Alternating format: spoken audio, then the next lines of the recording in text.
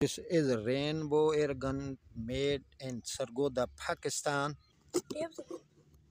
I want to check it target shooting and hunting. Very beauty. Mark दिखाओ तो इसका sides जो है ये बहुत स्ट्रांग है इसकी ये अप एंड डाउन है साइड एलिवेशन इसका नहीं है ये बिल्कुल फिक्स और एग्जैक्टली है। अगर इसमें कुछ थोड़ा बहुत वेरिएशन ऑफ़ पीलेट हो तो इसको ये नट खोल लेते हैं ये ये स्क्रू से। और इसको जब हम लूज़ कर लेते हैं तो फिर इसमें इतना प्ले होता है राइट एंड लेफ़्ट का। और जो एडजस्टेबल साइट हैं, वो टूट जाती हैं, इसलिए मैंने इस गन को पसंद किया एक दोस्त के लिए ली। अच्छा ये वार्निंग है। This is not a tight can dangerous up to seven hundred feet और चिल्ड्रन से दूर रखें। Jet. Very good and very fit for this gun jet. Gun is price seven thousand five hundred rupees this is very good gun comparative गेमों के China के, उनकी price दस हज़ार से लेकर बीस हज़ार तक है।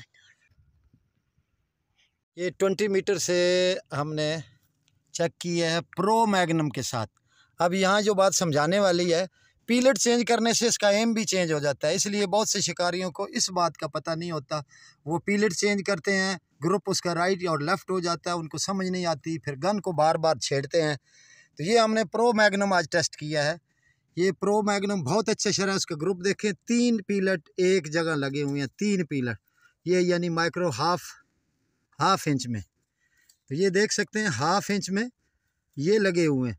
तो अब हमने जिस पीलट से शिकार खेलना है या जो पीलट हमने इस्तेमाल करने हैं, फिर उसके मुताबिक गन को एडजस्ट करना है। चूँकि ये जेट इसमें थोड़ा फ़र्क था, इतना फ़र्क था तो अब वो चेक करते हैं। ये है प्रो मैगनम इसका काफ़ी फ़र्क है, लिहाजा हम प्रो मैगनम इस्तेमाल नहीं करेंगे।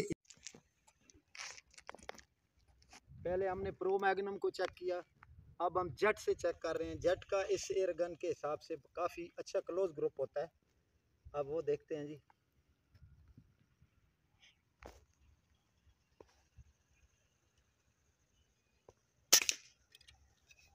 चूँकि ये न्यू है तो न्यू एयर गन को हम जल्दी जल्दी इसको एडजस्ट नहीं करते। जब तक इसमें पचास साठ पीलट चल ना जाए क्योंकि इसकी आयरन साइड जो है लोहे की है ये इसका आ, स्क्रू ड्राइवर से इसको लूज़ करते हैं और इसको इससे फिर पकड़ के आप एडजस्ट कर लेते हैं दाएँ और बाएँ। इसका सिर्फ़ राइट एंड लेफ़्ट बहुत मामूली फ़र्क होता है बाकी इसमें और कोई एडजस्टमेंट नहीं होती।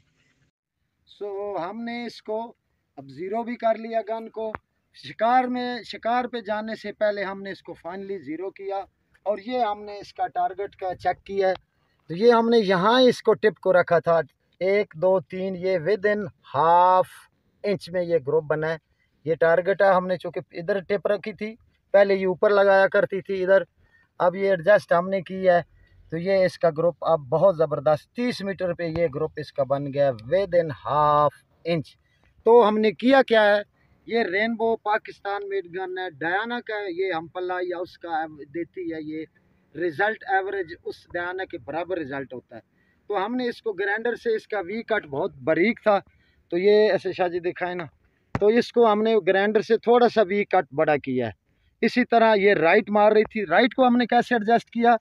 इसका हम एंगल मामूली सा हमने प्रेस किया फ्रंट टिप का। ये जो फ्रंट टिप है, इसको मामूली सा हमने राइट किया तो इसका वो जो राइट लगा रही थी, वो अब सेंटर में आ गई। तो ये आप दोबारा दिखाएँ जी। तो ये अब इसका यहाँ ही एम लिया, यहाँ ही एम लिया, यहाँ ही हिट किया और यहाँ ये ज़ीरो हो चुकी है।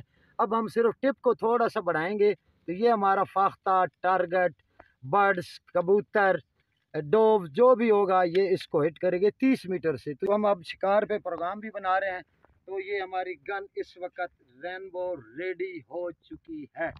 तो आपको अच्छी वीडियो लगे, आप तो इसको सब्सक्राइब भी कर दीजिए, लाइक भी कर दीजिए। अल्लाह हाफिज़।